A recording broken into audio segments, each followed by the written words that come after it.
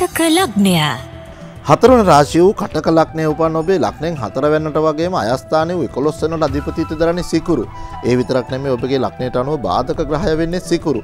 එකී සිකුරු පසුගිය කාලය පුරාවටම ලක්නෙන් නමවැන්න වූ පුුණ්‍යස්ථානගතව තමයි ගමන් කරේ. ලක්නෙන් දහවැන්නට යුරේනස් සමඟ සහසම්බන්ධවීම විශේෂෙන්ම කටක ලක්නය උපන් ඔබ නීති ආශ්‍රිත ආරක්ෂක ආශ්‍රිත කර්මාන්තවල ව්‍යාපාරාදී වගේම රැකී රක්ෂාවල නිරත වෙන කෙනෙක් නම් අනිවාර්යයෙන් ඔබේ කටයුතුල සාර්ථකත්වය අච්චර ගැනීම ඉඩකඩ පවතිනවා.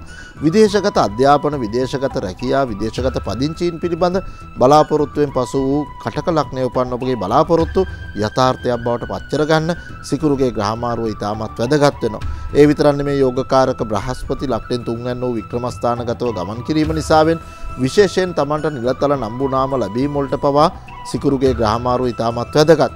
ඒවගේම තමයි කටකලක්නය උපන්නට උෂ්නාධික රෝග පීඩා මතුවීම ඉඩකඩ තිබෙන නිසා නිසි වෙලාවට වගේම පාලනෙන් හිතුව ආහරපාන ගන්න නං අමතක කරන්න එපා.